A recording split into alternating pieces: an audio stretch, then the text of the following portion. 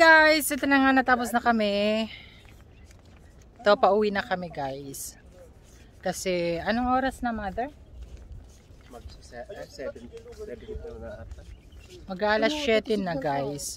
Um, ano masasabi mo yung ano natin ngayon mother? Sobrang saya kahit puyat. Go Saya? ng go. Ikaw, Ano, ikaw pangpatanggal- Mar? Pang patanggal stress. Happy? Ikaw be, happy? Yeah, sobra. Salamat. Ay, Salamat sa pagsama. ganda ng boses. Let. So, ayun nga guys.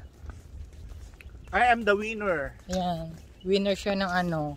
Abangan nyo guys yung laro namin. Meron daw siyang 100 na sampal. so alam nyo guys, ang gusto ng challenge naman ni mother yung sampalan daw.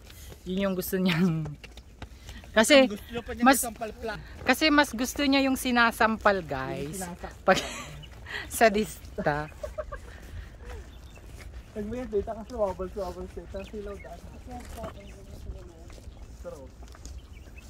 Pag